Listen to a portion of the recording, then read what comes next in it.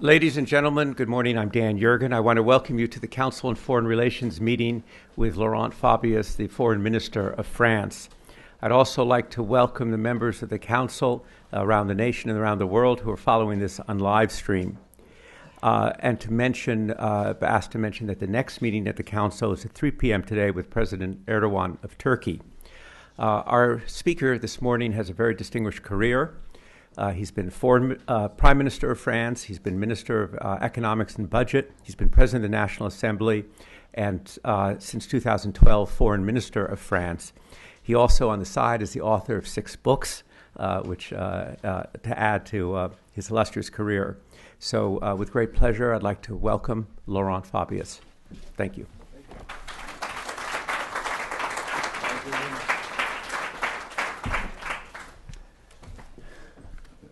I will speak English.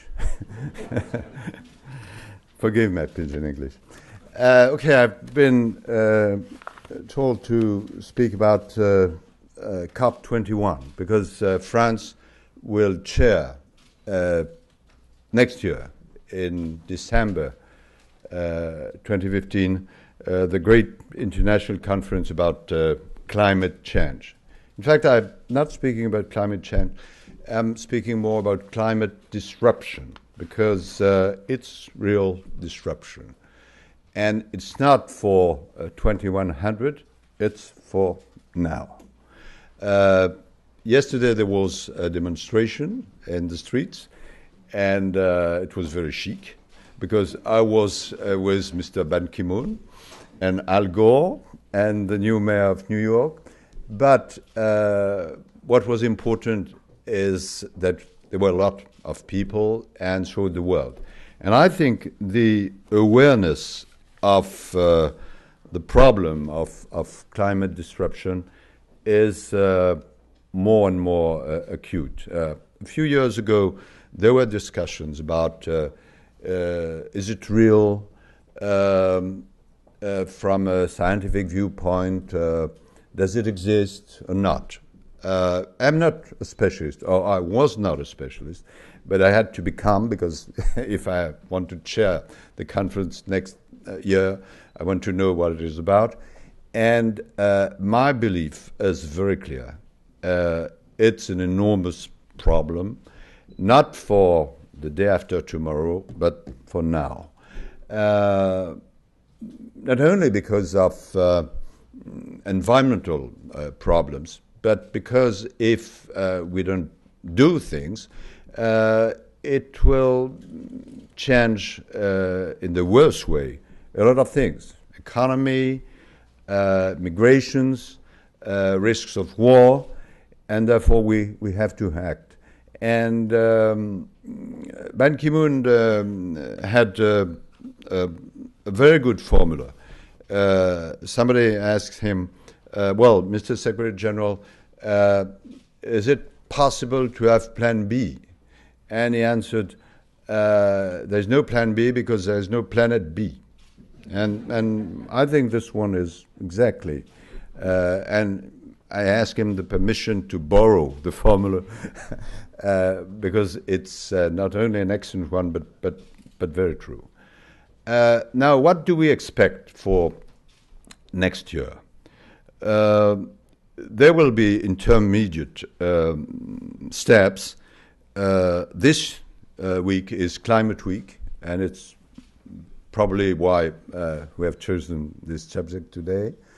And uh, tomorrow you will have uh, in UN a lot of presidents, prime ministers, more than 100, a lot of CEOs, a lot of uh, governors, and uh, it means that uh, there is a growing awareness. Okay.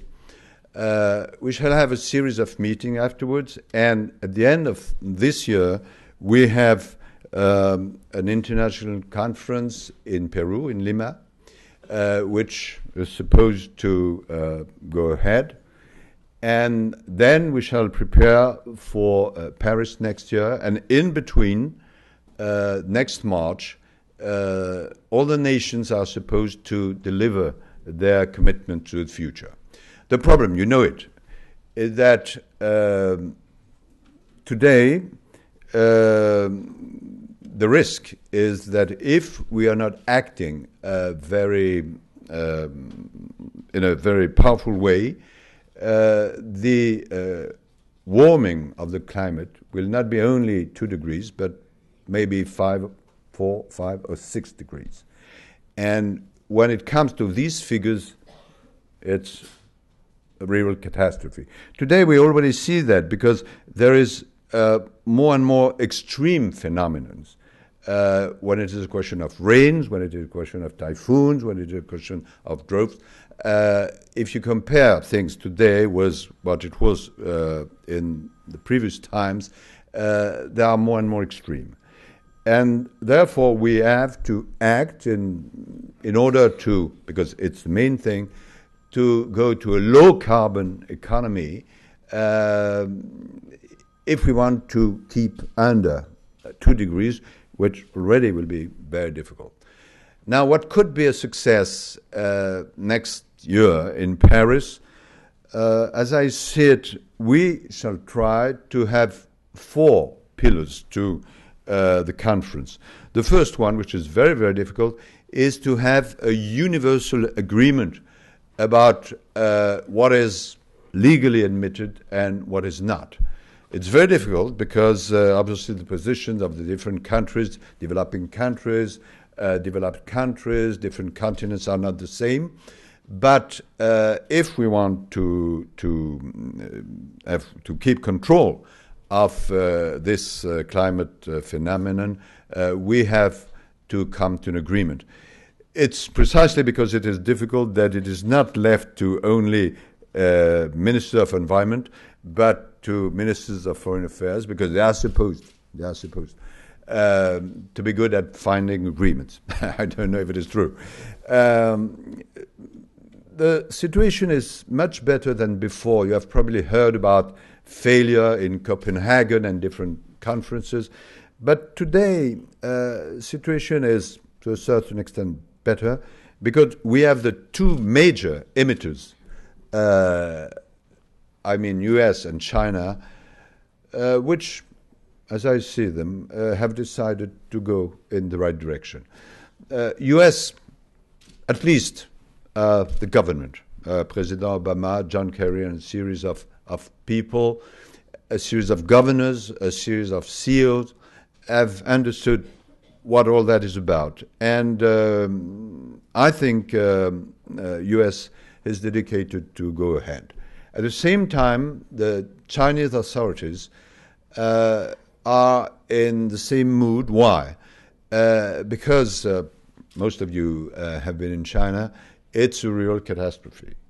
Uh, and uh, in Beijing and in different towns, it's sometimes not possible to go in the streets because of the pollution. And it's not only an economic problem, but it's a social and political problem because uh, there have been riots, and uh, you have a growing number of um, people uh, in uh, international companies who do not want to work in uh, Beijing or in some towns because uh, now it's impossible for, for, for reason of health. And therefore, uh, the Chinese have decided, as I see it, uh, to go ahead. And there are conversations between China, uh, US, ourselves, and other uh, partners in order to know wh- where is what can be done. Therefore, the first pillar is to try and have an international agreement, especially say differentiated, which means that obviously what will be required from uh, a developing country will not be exactly the same as uh, from a rich country. First pillar. Second, before next March, uh, it has been decided uh, at the previous international conference in Warsaw that all the nations must give their proposals and even their commitments uh, for the coming years 2020, 2030, and so on uh, it, it is not legally binding, but it will give to everybody an indication about what is a perspective, uh, how we can remain uh, through national commitments under two degrees. That's the second pillar. The third one is about finance and technology. When you discuss these matters with uh, uh, poor countries, they say, okay, okay, that's good, but uh, how can we finance it and what is the technology? And we have to uh, coin elements and that. Uh, probably you have heard about the Green Climate Fund, uh, which has been decided a few years before, but which is not capitalized. And probably uh, tomorrow, when the heads of state and government will intervene, some of them will say, well, we shall put uh, $500 million, uh, $1 billion. and the idea, the figures can seem to be enormous, but it's doable that in 2020 uh, there can be, when you add public contribution, private contribution, because more and more private companies are going into that direction, uh, it can be 100 billion uh, dollars a year dedicated to environment and climate um, betterment.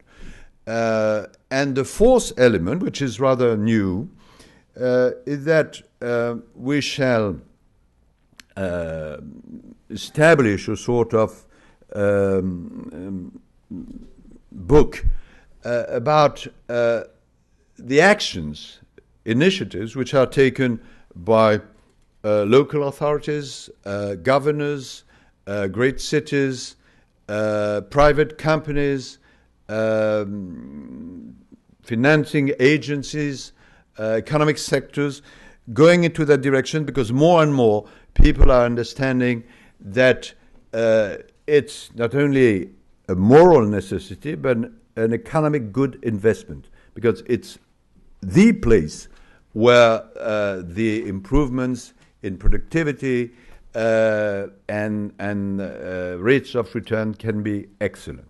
And when you add these four elements, uh, the international agreement, national commitments, finance and technology means, and uh, different uh, sub governmental and um, um, economic uh, sectors, you have the conditions of success.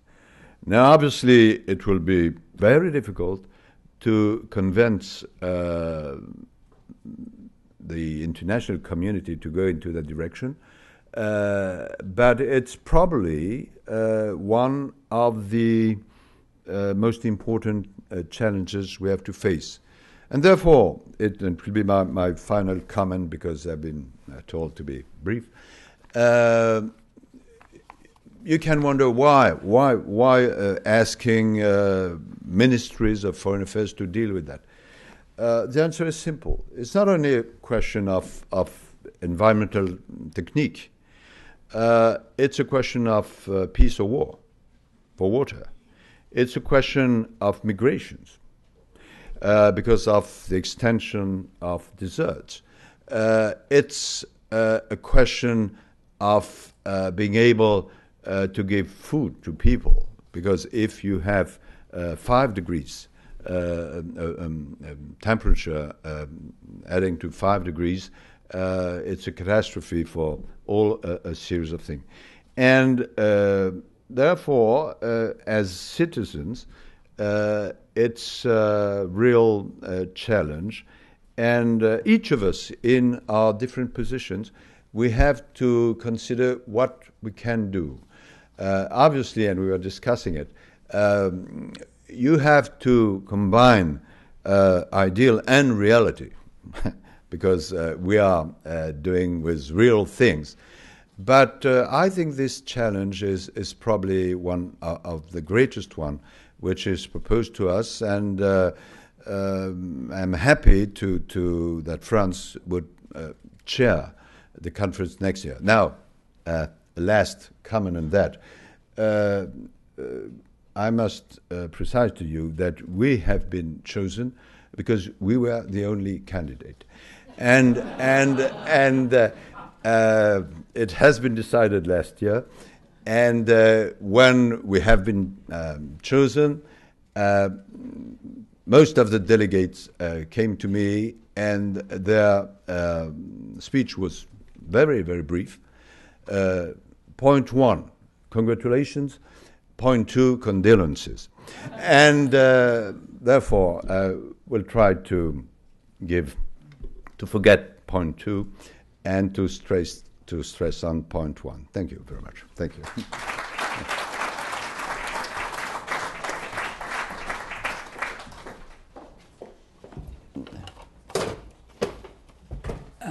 Thank you very much, uh, Mr. Minister. First, uh, I want to join everybody here in congratulating you on winning the competition to uh, host COP21. Uh, as you've uh, undertaken the planning for it, uh, and looking back, as you said, to Copenhagen and so forth, what kind of lessons have you taken from the difficulties in the past to try and get COP21 to get to an outcome that you want to see? The first time I, I, I, went to this sort of country, I was not in Copenhagen, but I was in Warsaw last year, and I paid a visit to the specialists with great respect. And I asked them uh, not what could be a success, but what are the sort of uh, mistakes uh, we have to avoid. And uh, at the beginning of the conversation, all of them were very modest, but afterwards um, they delivered the same speeches. And I think there are many sorts of mistakes, but particularly uh, two sorts of mistakes.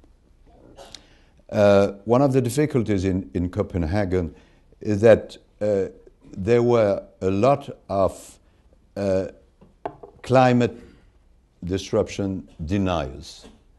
Uh, I know that in US there is still a debate: uh, is it real or not real? But honestly, uh, in most countries, uh, the debate is over. Uh, there is a real problem, and therefore there is a difference between Copenhagen and now. The second point, and uh, I will learn the lesson in Copenhagen, uh, it has been prepared. Uh, well, you know, it was difficult to prepare. And the idea was that uh, at the end, if uh, great political leaders were coming, they could get, you know, have a conversation together and uh, find a solution. And uh, they went together, and they didn't find a solution. uh, or they, they were able to, to deliver uh, a paper, but they came back to the assembly, and the assembly said no. And therefore, uh, the modest uh, lesson that I've drawn from that is that we have to have a lot of work, a lot of work before. Uh, on my agenda, I have put a series of uh, meetings, uh, terrible, uh, next week, uh, international meetings, uh, because everyone has to be able to express what are their difficulties. And you have to take into account these difficulties and to try and find a solution. Uh, but the idea that the supreme political leaders can solve the question at the end of the day, it's a wrong idea. Therefore, we should try to pay a lot of work, to be humble, modest. If uh, the political leaders can help us by statements, it's excellent, but uh, the, the job must be done before. And it's the reason why uh, this year uh, it's important in this climate week to have a good work. It's important that in Lima, uh, next December, uh, we can make progress and uh, step by step in the G7, the G20, in special meeting uh, to have progress. And it doesn't guarantee the success in Paris, but it will maybe permit it. Right. So you, uh, France, has put a lot of emphasis on the financial aspects. You did in your remarks. Of course, you're here not only in the home of the UN, but the home of world finance. Uh, maybe say a little more about this fund, this $100 billion fund, and who, what would be the mechanisms? Who would allocate it? How does the money get used? Well, it's not uh, already very clear. Uh, first, this fund, Green uh, Climate Fund, has to be capitalized. Uh, the experts consider that if we have between 10 and 14 billion dollars by leverage effect and so on, and adding what is done by private companies, by um, uh, different uh, um, financial agencies, it could come to 100 billion uh, dollars. Uh, and I think, I hope, it's not difficult to come to 10 or, 14 billion dollars. The only one uh, country which up to now has committed itself is Germany. They have promised one uh, billion uh, dollars. Uh, France will uh, deliver the figures tomorrow or the day after tomorrow when President comes, and I think we shall reach the figure. Afterwards, we have to precise the way everything is handled and the way uh, how it goes. And uh, public finance will be important, okay, but what is probably much more important, and there have been works on that. Uh, Henry Paulson has published a report, and you know, uh, when you are thinking about what are the sectors where uh, you can have innovations in the future and earn a lot of money. Okay, you have information technology and all that stuff. But in the energy sector and environmental sector, uh, green growth, there is a lot of, of possibilities, which are not only from an economic viewpoint interesting, but also from a financial uh, viewpoint. And uh, we hope, uh, you know, this question of green bonds, this, well, right. you have a lot of things. And if uh, we're able to show to uh, the economic community that it's not only uh, from a moral point of view, if I may say so, useful, but from an economic viewpoint, uh, where uh, there are good things to do, uh, it, it will be uh, a done deal. One of the things on the discussion, and I think it's been some discussion in Paris about this, is an international financial transaction tax to mm. help finance that. Do you see that as something that's going to be on the agenda? Uh, it has been decided at the European level, you know that. Not for all the countries, but for some countries. And among the countries, Germany, France, and some other. Uh, but uh, there are discussions because some people say no, uh, it's not a good idea, and it will uh, be uh, counterproductive uh, because some countries will accept it, some other countries will not, and therefore the finance will go where there is no tax. Uh, at the present level, uh, it's not a problem. If it was increased in rate, it could pose a problem. Uh, today, uh, it's not, well, we, we, could not have a general agreement on that. In the coming uh, years, I don't know, but uh, today it's possible for European countries, but I think it would be an illusion to hope to have that for the next year. Right. Um, France is unusual, uh, in a unique position among the major industrial countries. Uh, you're about 4% of uh, world GDP, but about 1% of emissions. A good part of that reason is because of nuclear power, yes. 78% of your electricity. Do you see as you look not at France, but as you look at the developing world and the rest of the world in terms of dealing with climate, do you see a role for nuclear on yeah. the scale of yeah. France? and I see an evolution, uh, even within the so-called uh, environmental uh, specialists. Uh, in the old times, uh, in the old days, uh, a lot of ecologists were against nuclear. I don't mean that they are pro nuclear today, but there are different elements because, as you know, uh, when you speak in terms of uh, carbon emission, well, nuclear does not produce uh, carbon, and uh, it makes a difference. Uh, there is the problem of waste, but there's no problem of carbon. Uh, France is in a particular situation because it's the nation where uh, the proportion uh, of electricity coming from nuclear energy is the highest. It's about 75%. Uh, now decisions have been taken to have a more balanced, uh, you know, figure, and we shall, in the coming years, uh, come to 50%, 50% nuclear and 50% uh, renewable and so on. Uh, the figure remains very high, it will be the highest, but it's more balanced. But I, I, I know, because I'm in charge of foreign affairs, but also on, on, on uh, foreign trade, uh, that many countries uh, are interested today by uh, nuclear energy. Uh, the first one of future will be China. The perspectives are enormous. Uh, Russia as well is producing, but you have projects in India, in South Africa, in Turkey. Uh, you have the particular situation of Japan, uh, which uh, is uh, a nuclear country. You had the catastrophe of Fukushima, and therefore they have to uh, restart uh, the elements. Obviously, nuclear energy is possible only if security is very, very tight, and France is the highest for that. but I think uh, there is a, a, perspective in the future. Yeah. Sure.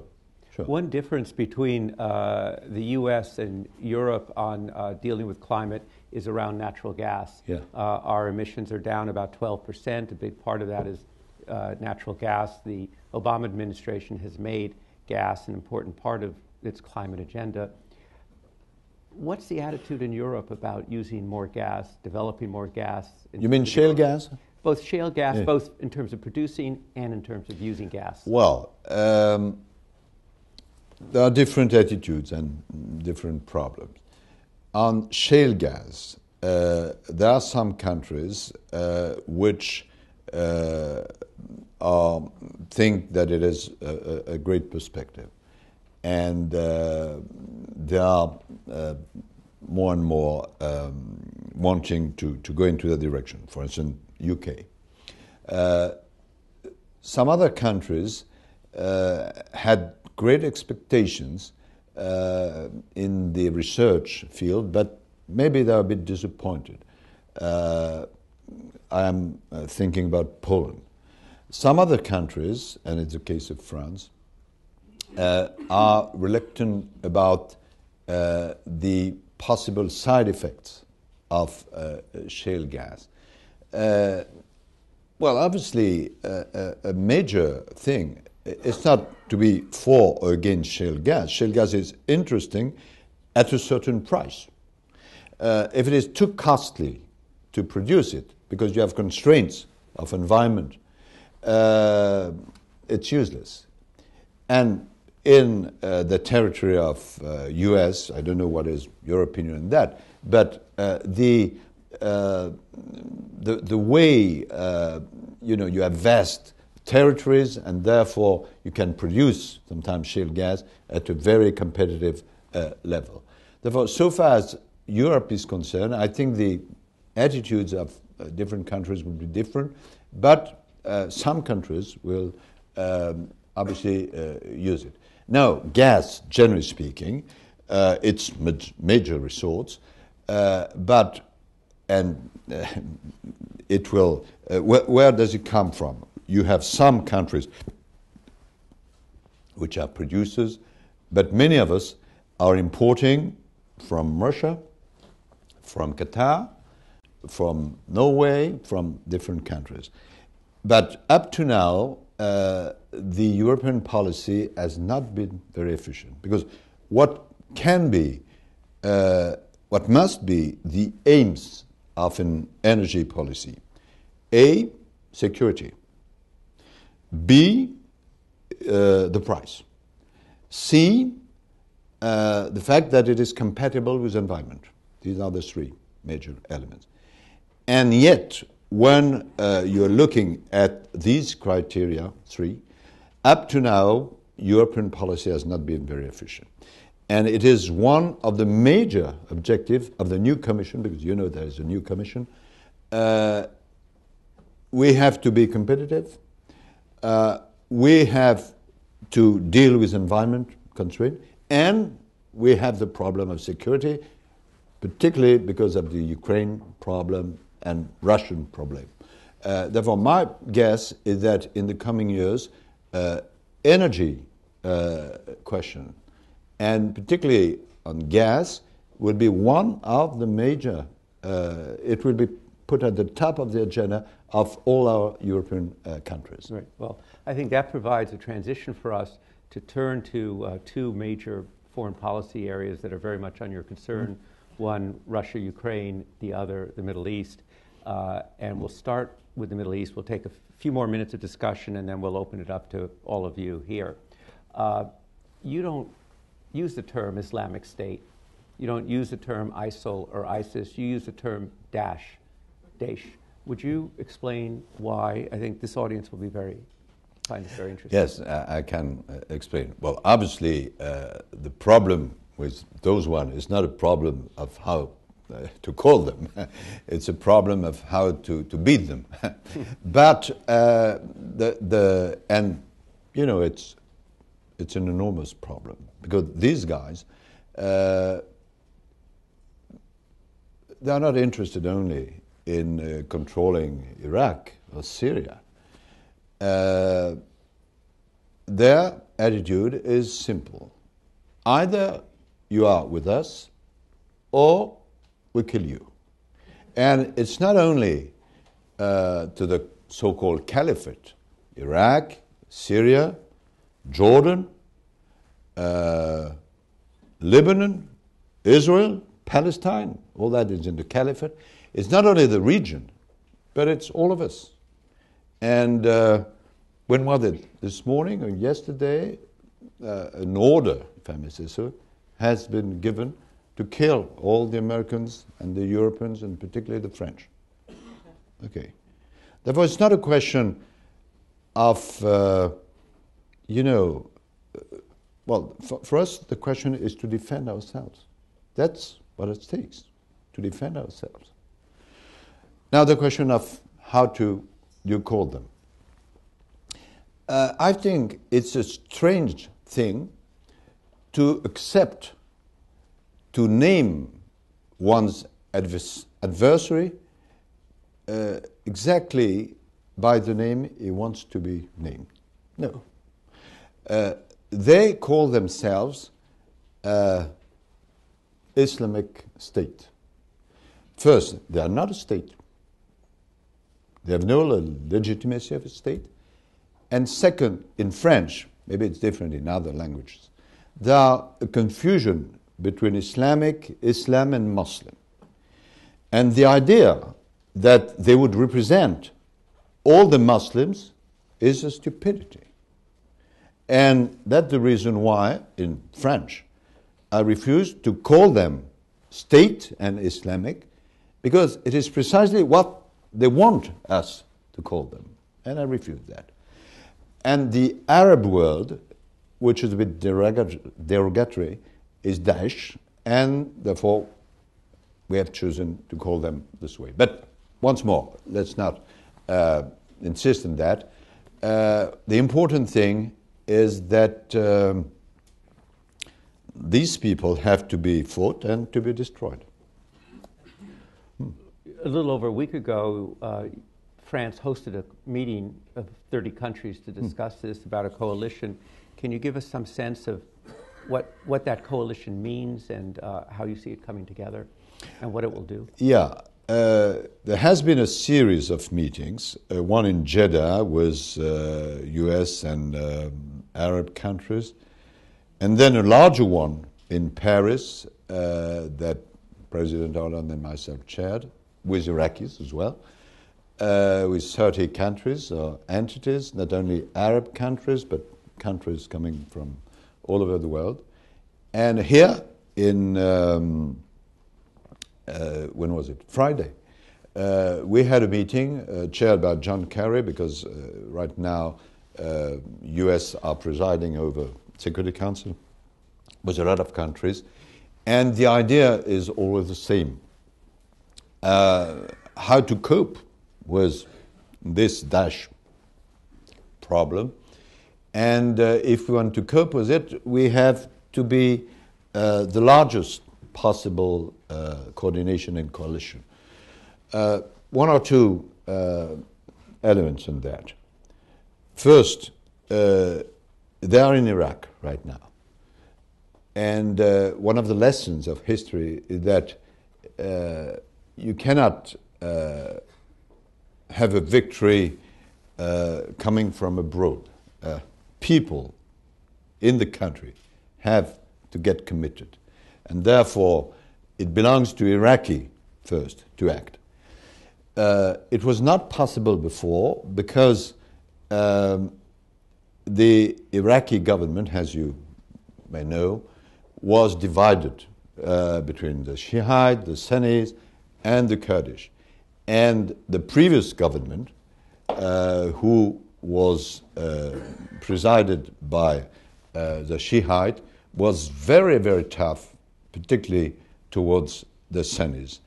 And it explains why, when the Daesh uh, came in, uh, they were able uh, to beat the Iraqi army so quickly because part of the Sunnis uh, have had an alliance with the army saying, okay, uh, maybe Daesh is bad, but the previous government is worse.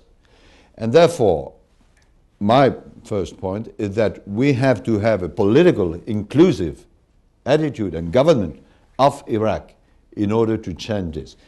It is what uh, is taking place right now, and therefore the first element is to support a political new uh, way.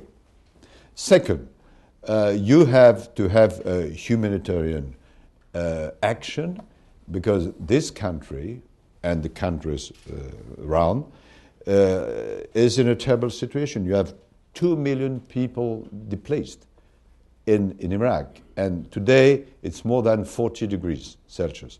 But within a couple of months, or four months, it will be zero degrees. And therefore, we have to establish a sort of humanitarian bridge with them. And third, and first, uh, we have to have a military and security action. Uh, US and France have decided, because we were asked to do so by Iraqi, to ensure uh, air protection. Uh, we shall send no troops. Uh, but obviously, uh, we have to enlarge those who will be able to, to, to come to this uh, military elements, and it is precisely what we have discussed in Paris, what we discussed uh, last Friday, and I think in the coming days uh, some announcement uh, will be made. It's very important that it should be felt not only by a, a dash against Western countries uh, fight, but that many Arab countries will join us in uh, this uh, necessary movement. So let me just ask you a couple more questions before we open to the floor. Uh, you've expressed concern about the jihadist threat within Europe, within France. Mm. Uh, how big of a threat is it? It is a real threat. Uh, it's a real threat. Uh, the other day I was discussing with a specialist, and uh, sometimes specialists are right. Uh, you know this famous, uh, well, we can do humor even with serious matters. There was a definition by uh, a French uh, humorist. Uh, what is a specialist? You know the answer? I think everybody in the audience is getting nervous. So. The specialist is somebody who is wrong, but along the rules. wrong, but along the rules, uh, abiding the rules. All right. okay, uh, forget okay. it. Forget it. forget it. It's terrible. It probably works better in French. Until now, it was okay with you, and now, pam. No. Uh, Therefore, what, what, what's your question? what was the, question? You were talking to a specialist. Oh, yes, yes. Yeah. One of and, those specialists. let's become serious. Uh, I asked him uh, how many uh, nationalities in Daesh? 51. 51. Uh, from all over the countries.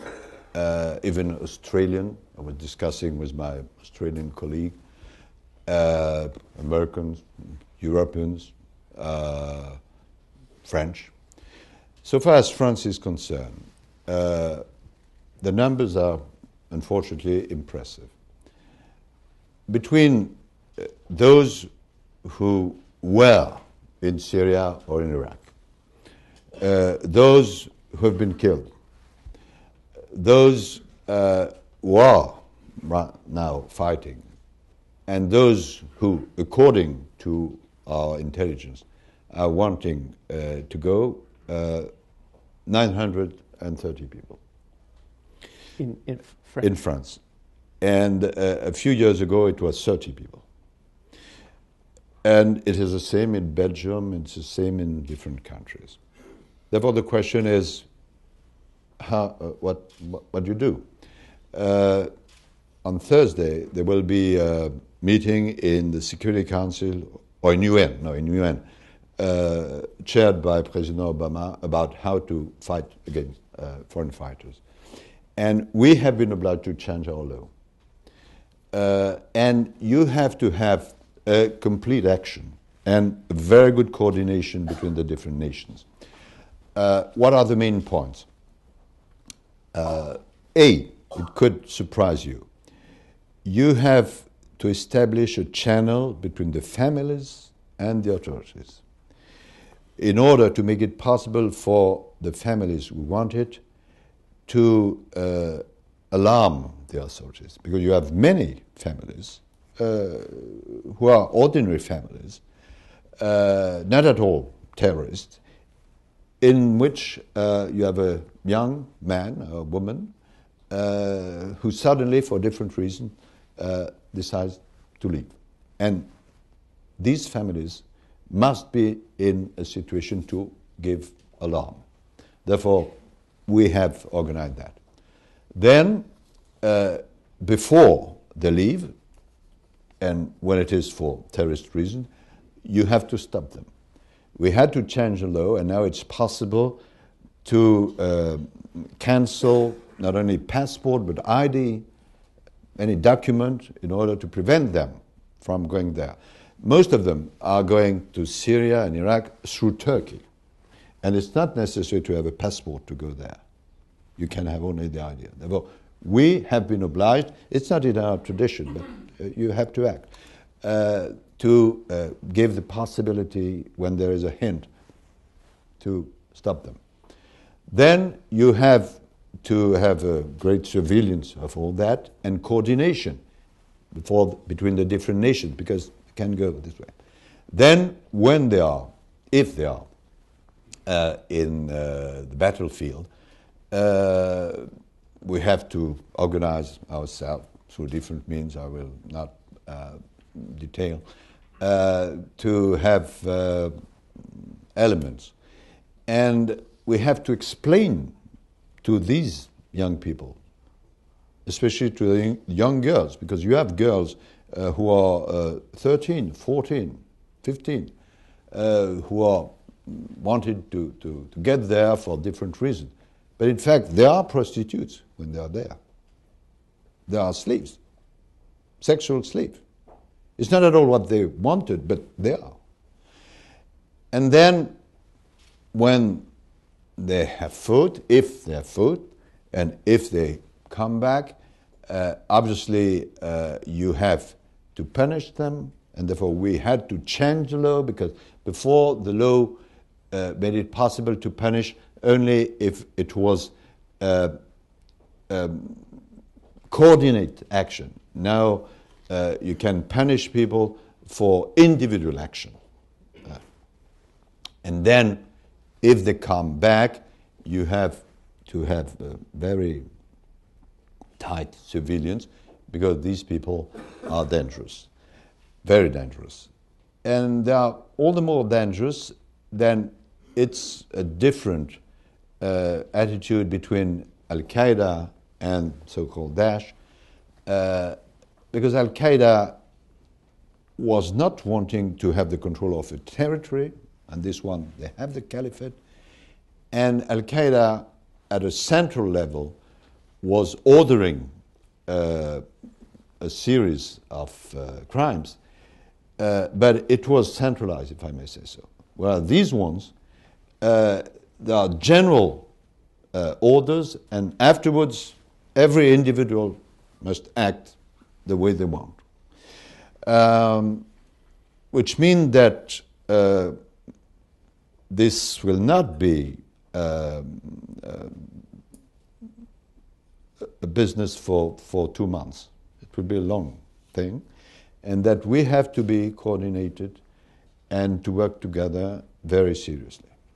And to explain to the population uh, what is at stake.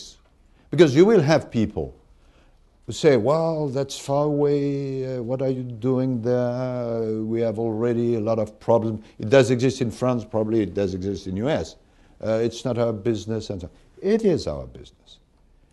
If we don't do it by solidarity, let's do it by selfishness, because we are concerned. But it's difficult, and especially in these times, we are discussing about uh, crisis, economy, and so on. You know, people are saying, well, it's, it's far away, it's far away. No, it's not far. It's not far. And uh, it needs, uh, on behalf of uh, the governments, um, leadership. Leadership. Hmm. Well, thank you. Let's turn to the audience now. Uh, microphones will come to you. Stand, your name, your affiliation, and really concise questions. First question right there. Uh, good morning. My name is Raghida Dergham of Al Haya. Uh, Mr. Minister, France has been uh, a proponent of bringing Iran into the coalition. Uh, you have had differences with the U.S. on uh, on on uh, on this matter because the U.S. would like to discuss the regional role of Iran. What sort of conversations are you having with the Iranians about their role in Syria, in Lebanon, and in light of the meeting yesterday, meetings between Pres- um, Minister Kerry uh, the U.S. Uh, Secretary of State and the mm, Iranian Foreign Minister on one hand, and then the Iranian and the Saudi ministers on the other hand. Are you? Did, did you learn anything that makes you um, encouraged that things will go on the right in the right direction? Well, it's a complex question. I don't want to be too long. Um, uh, the question of the participation of Iran uh, to the Paris conference or to any conference about Iraq and Daesh uh, has been raised uh, because they are closed, geographically closed, and they are opposed to Daesh.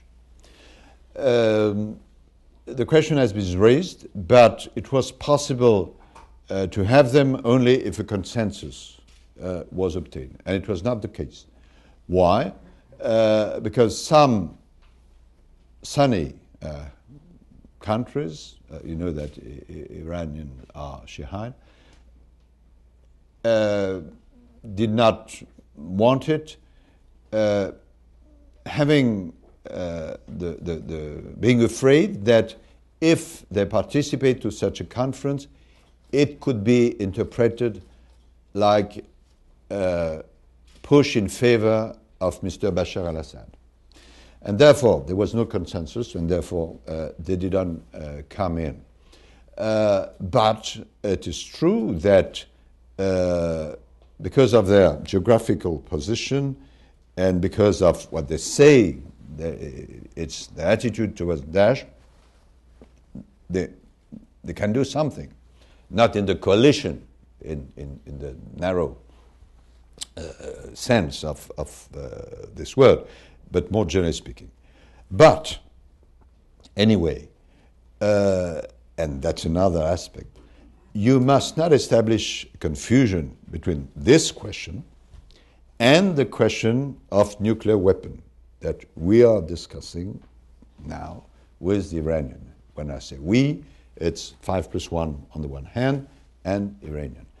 Uh, Iranians did not ask us to uh, have a melange between the two. Uh, but anyway, uh, we have said, and I have said, that these were different questions. Uh, because uh, the question of nuclear is a question per se. And uh, I very often say in, in this matter, and I was happy to say that John Kerry has taken this expression. well, when we discuss about um, nuclear things with Iran, and particularly, well, there is a difference, enormous difference between civilian users and military users. So far as civilian users are concerned, okay, perfect. So far as the atomic bomb is concerned, no way. And I very often say that uh, it is not possible in this matter to be half pregnant. Either you are pregnant or you are not pregnant. Either you are able to have the bomb or you are not able to have the bomb. And uh, it's a question on which I've always said to uh, the Iranian, uh, we cannot uh, have a confusion between the different subjects. Uh, the, the question of atomic bomb is a question by itself, which is different from the other questions. And on this question, uh, one has to be clear. You have to be clear. We have to be clear. and we are discussing that right now.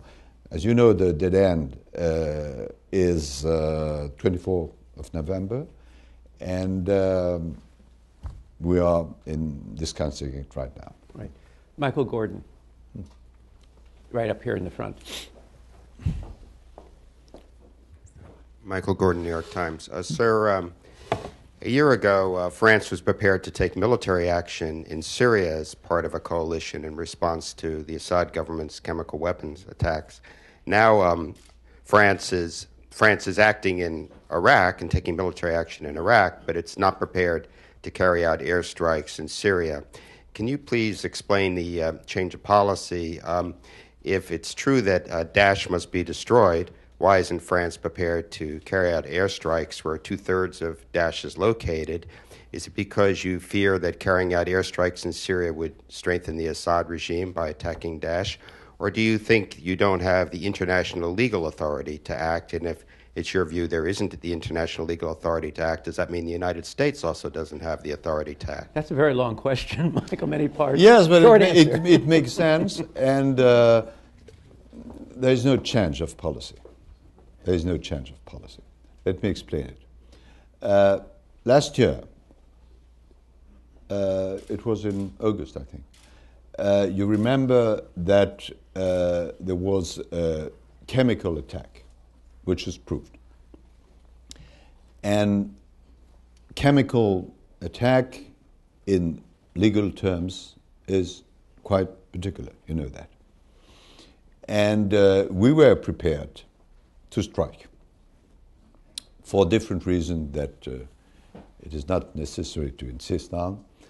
Um, uh, our partners, UK uh, and US, uh, thought it was not possible. And it was out of the question that we shall strike by ourselves. Therefore, it was not possible to strike. My own belief is that, uh, but it's a debatable point, should it take place, situation would have been very different. Different in Syria, different for Daesh, and probably, maybe, different in Ukraine as well. Full stop. Different now, in Ukraine. Yes, because uh, you have noticed that uh, uh, President Putin uh, has been very active. Right. Uh, and uh, we could discuss a long time why he's so active, but uh, I think that uh, maybe uh, if uh, you have the feeling that the environment is more open to your activity, uh, you do that, but if you have the feeling that uh, the reaction would be different, okay. Uh, now, uh, I take your question today. Uh, we have received, France, a letter from uh, the Iraqi authorities asking us, uh, asking from us to have uh, air protection uh, in Iraq. And we have decided to say yes, according to the Article 51 of the UN Charter and uh, President Hollande uh, ordered uh, airstrike, uh, which has taken place a few uh, days ago. Okay. Uh, now, so far as, and the, the French president said that we do not have intention to do the same in Syria, I mean by air, but that we shall help the opposition, moderate opposition in uh, Syria. Uh, now, from a legal viewpoint, uh, and the US has been required to act, and President Obama, correct me if I'm wrong, has said that he is acting in Iraq and will act in Syria as well. Uh, I think it's possible to act. Therefore, the question is not a question of legality, international legality. Uh, but uh, first, France cannot do everything. And second, uh, we consider that uh, to support the moderate opposition and to fight both Bashar and Daesh is a necessity. You may remember, because uh, you seem to be an expert in that, that it has been the position of France since the beginning. Uh, and I can give you a few hints. Maybe it's a bit longer, but it's interesting from viewpoint of history.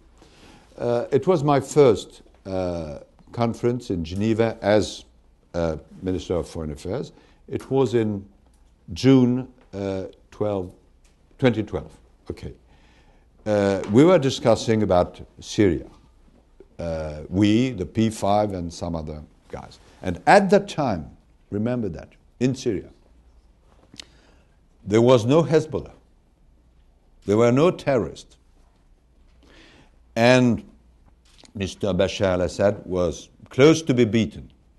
And the conversation between us was okay, he will be beaten, but uh, where will he go with his family?